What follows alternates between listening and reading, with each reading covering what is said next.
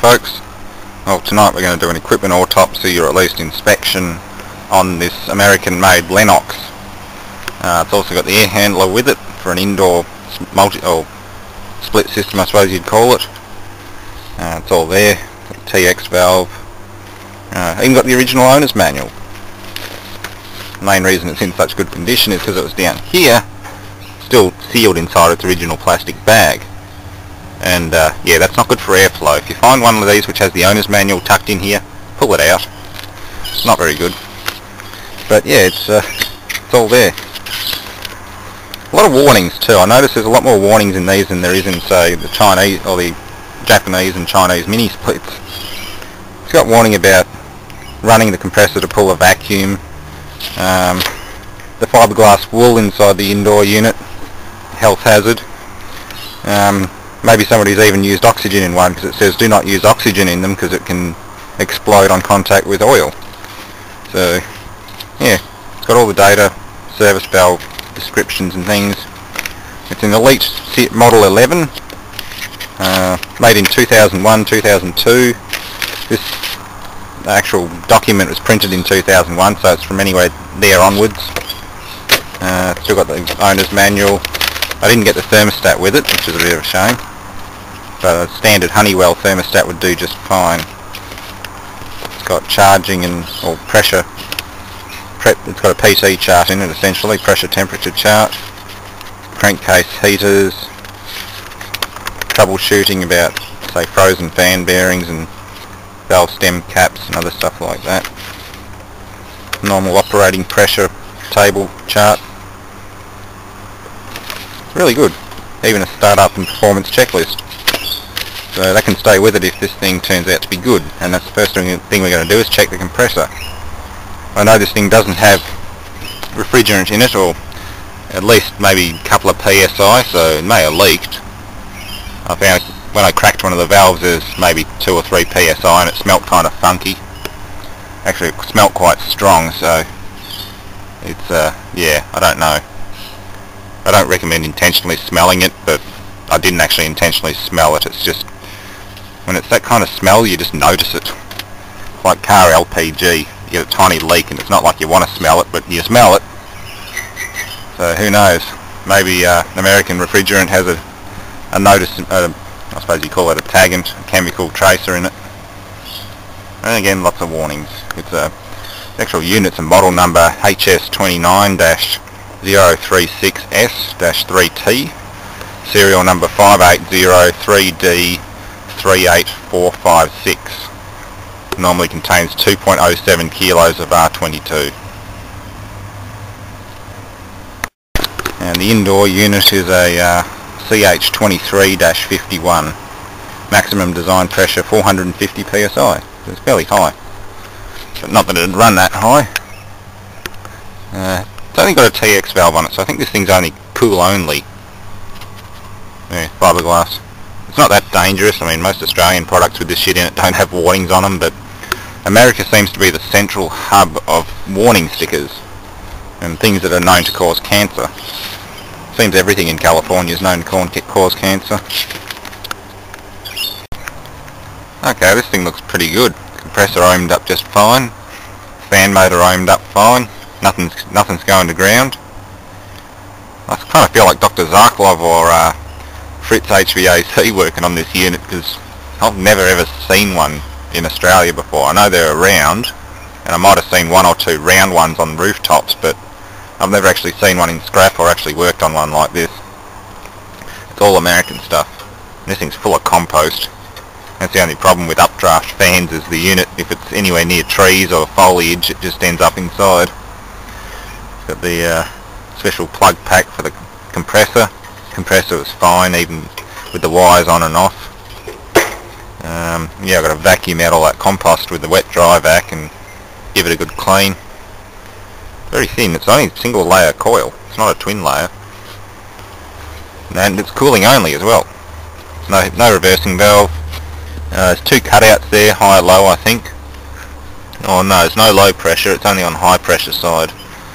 So if it does have a leak it might have run for a while without pressure, but I don't know. Being cooling only, they might have just ripped it out because it wasn't a heat pump. That's a big thing in Australia. Everyone likes these mini splits like this one because they're heat pumps. And this one's probably rated to the same if not more power. This is an 8 kilowatt heat pump. So this unit probably outperforms this American one. But then again that has a much bigger air handler. So I don't know. They're probably very close in size and personally I prefer working on that one apart from the digital electronics. You don't have to lean down inside to get the compressor out. But no, it looks like a well-made unit. I hope it doesn't have a leak, and that's where a bit of testing will come into it. Since it doesn't have doesn't have any measurable amount of refrigerant in it, I might as well seal these pipes up with some solder, open the valves, and just pump nitrogen into it, or evacuate it first, then pump nitrogen into it, and just do a leak down test, see if it leaks. Because if it does, then we've got a problem. It's funny that it didn't have any refrigerant in it. The place I got it from doesn't normally recover units. So usually when I find one without gas it's because it's been damaged or leaked. And that's the fan there. It's got a, is it a, uh, what brand is that motor? Emerson. Good old Emerson. Still free. It's got a tracking number on it. But something or other 03 first. Okay, it's 2003 model. It's not old at all. It's really not old at all. Okay, this is the part you've been waiting for. Let's see if the old dog runs. Uh, always use an insulated screwdriver to push the magic button. Uh, particularly on these contactors. It's funny thing about American stuff, they're covered with warning labels like that grounding label and all the ones on the front panel on the owner's manual but they've got the most dangerous looking contactors and these wire nuts which aren't even approved in Australia. This is a normal contactor for example, like what I'm used to. Covered in plastic and you've got the magic button there which you can push with your bare finger. That one there I'm not going anywhere near, because that even though it's on the neutral wire, it's still hot with respect to earth. So you don't touch that. But that's a regular one like what we're used to over here in the locally made mini splits and other industrial equipment. But yeah, let's see what happens. Ooh, sounds angry. It's not starting. Wait. Oh, that's the fan. I haven't plugged the fan back in, the compressor's still not starting.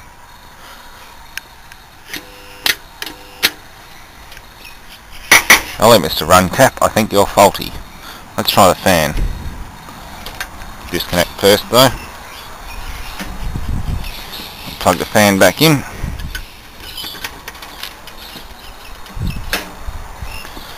Okay, now the fan's hot.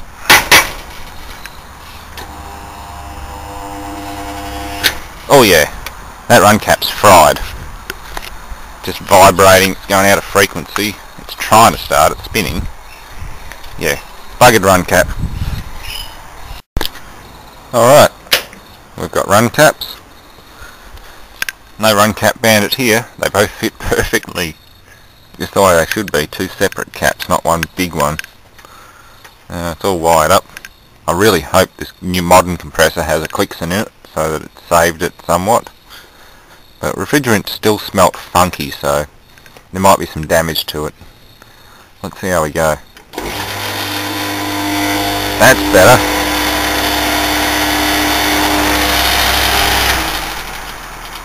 running. It'll run.